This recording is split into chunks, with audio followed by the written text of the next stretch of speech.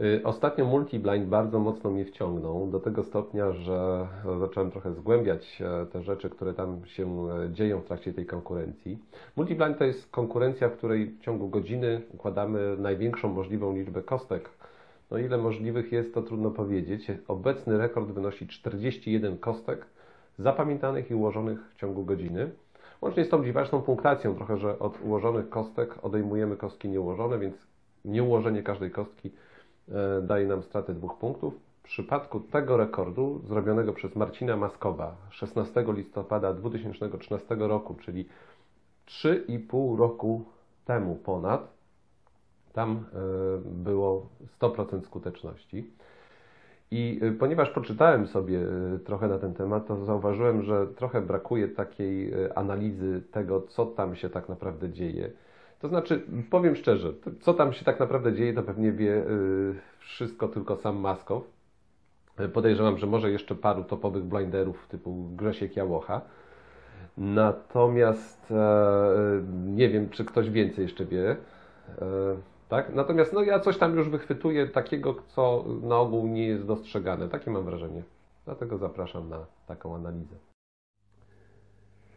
Tak, no więc zacznijmy. Przewinę te czynności początkowe. W linku tutaj y, i na dole również y, jest skierowanie do oryginalnego źródłowego pliku, gdzie możemy sobie to wszystko obejrzeć. Więc zaczynamy. Tak, i teraz zobaczmy, pierwsza rzecz, y, od razu już na samym starcie mamy dwie rzeczy, które były kwestionowane przez WCA. Mianowicie pierwsza rzecz y, jest taka, że y, zawodnik sam sobie włącza stoper. Regulamin wyraźnie mówi, że stoper włącza sędzia, natomiast sam zawodnik włącza sobie timer, tylko wtedy, jeżeli korzysta ze stakmaty. Tutaj Maskow sam sobie włącza. Tak, ponieważ tutaj e, była to kwestia sędziego, a nie zawodnika, to WCA w oficjalnym tam oświadczeniu dopuściła. Natomiast druga rzecz, która się też zaraz tutaj wydarza, jest taka, że kostki na stole są pogrupowane e, w taki spe- specjalny sposób e, i dalej, że są ustawione w orientacji pod zawodnika. To jest rzecz, która też była zakwestionowana przez WCA. I e, e, to się wiąże po prostu z nową regulacją, która w tamtym czasie e, dopiero została wprowadzona w życie. Mianowicie, krótko wcześniej WCA stwierdziło, że w konkurencjach blinderskich zawodnik dostaje kostkę w, w przypadkowej orientacji i jakby czy to jest 3 blind, czwórka blindem, czy piątka blindem, czy multi, kostki powinny być w przypadkowej orientacji. Maskow mi mówił, że Y, była powszechna praktyka taka, żeby ustawać, ustawiać orientację pod zawodnika i jeszcze w tamtym czasie były zawody, na których on mówi, że on siedzi, jemu ustawiali w sposób przypadkowy, na przykład Marcelowi Andrejowi, tak jak on sobie y, tego życzył. Zwłaszcza, że znowu to jest gestia y, sędziego. Tutaj w trakcie wyjaśnień jakby było tak, że Maskow nigdy nie sugerował sędziemu, czyli Toni, tak, jakie orientacje mają być kostek. No od tamtej pory przyjęło się, że ta orientacja jest w multiblandzie przypadkowa. Jest jeszcze tutaj jedna rzecz, która mm, nie jest do końca sprecyzowana w regulaminie, no, znaczy do końca, nie jest w ogóle sprecyzowana. Mianowicie pogrupowanie kostek w takie bloczki. Y, ja tutaj przejrzałem specjalnie wideo z, z ostatnich z ostatniego roku. No i to jest rzecz taka, że w zależności od kraju, mianowicie w Polsce i w Europie i w ogóle w Stanach Zjednoczonych jest tak, że tutaj e, nie grupuje się kostek w żaden sposób.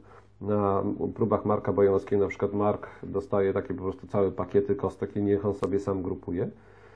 E, nawet tam raz jest jedna próba, że jest to wszystko przykryte kartonem. Y, natomiast widziałem, że na próbach Shivama Bansala te kostki są pogrupowane w takie bloczki, takie mniej więcej tak jak u Maskowa tutaj.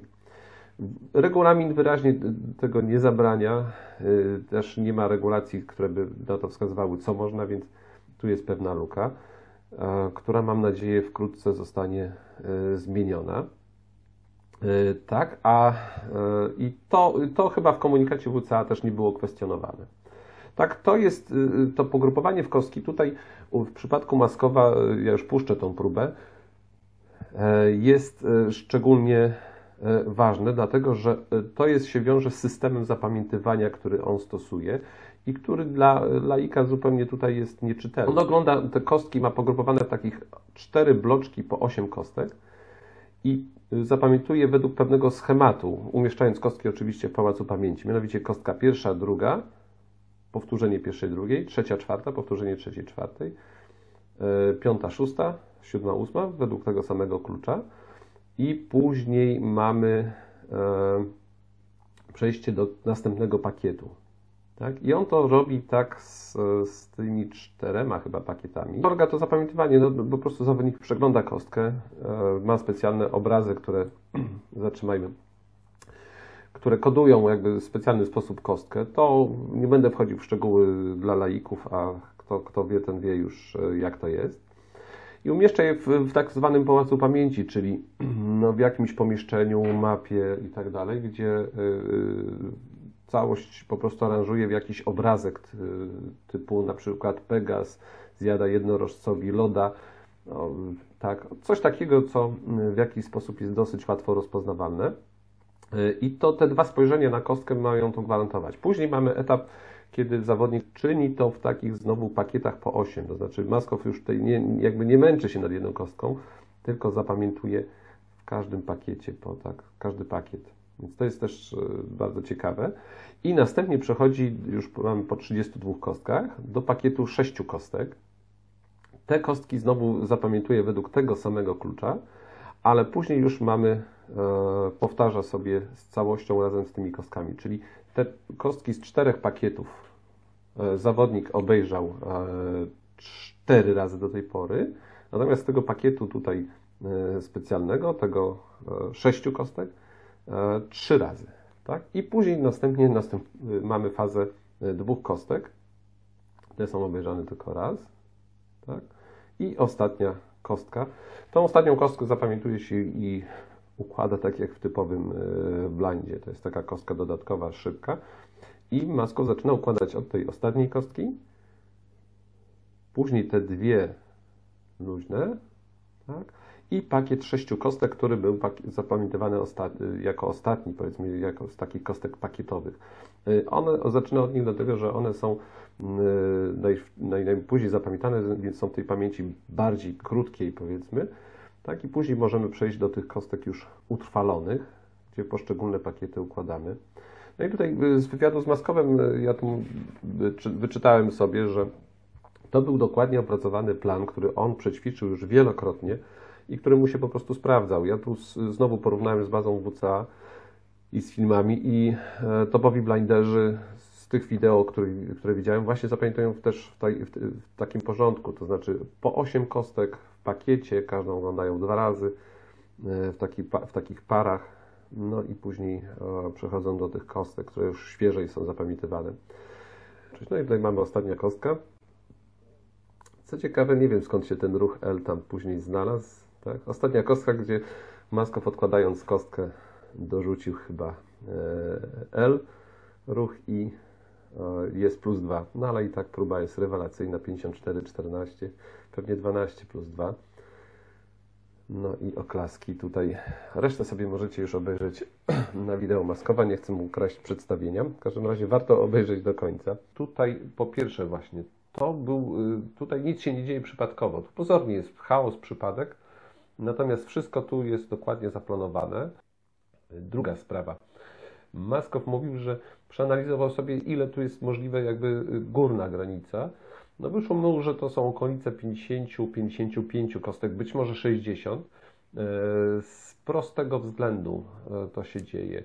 Mianowicie TPS-u nie zwiększymy, a my musimy sobie jeszcze wszystko przypominać dokładnie, to co e, robimy.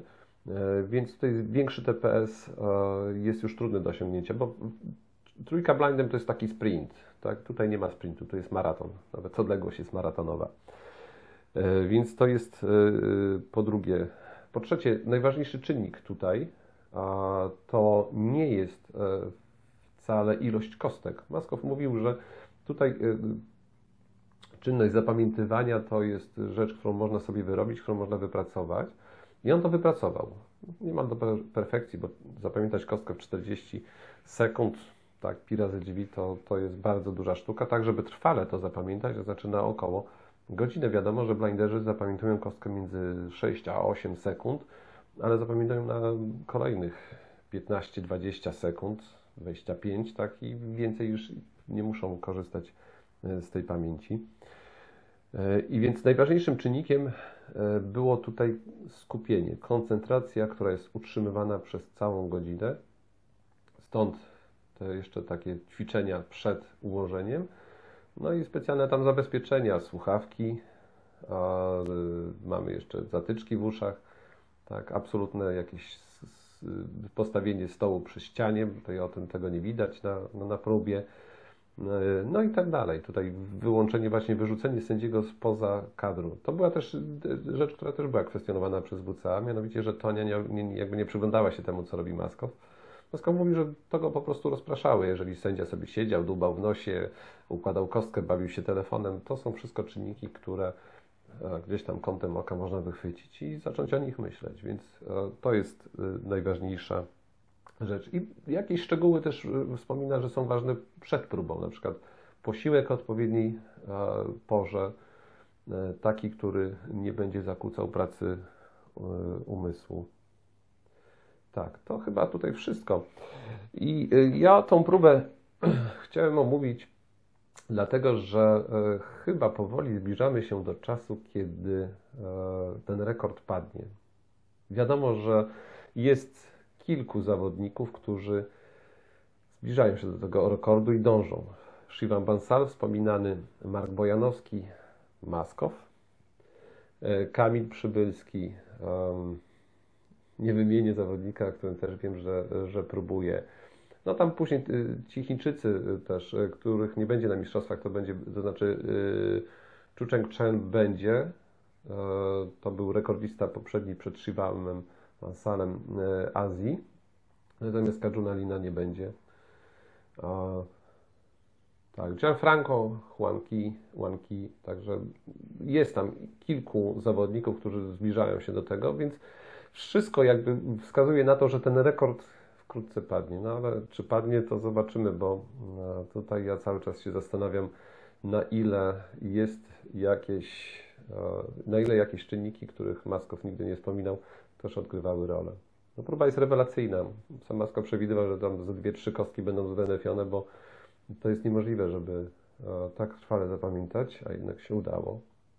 No i ta, w tej próbie mamy przeskoczył swój poprzedni wynik chyba o 6 punktów. Także bardzo wyraźnie, bardzo znacząco. Wszystko z mojej strony. Mam nadzieję, że to było dla Was ciekawe. Pozdrawiam, trzymajcie się i pa.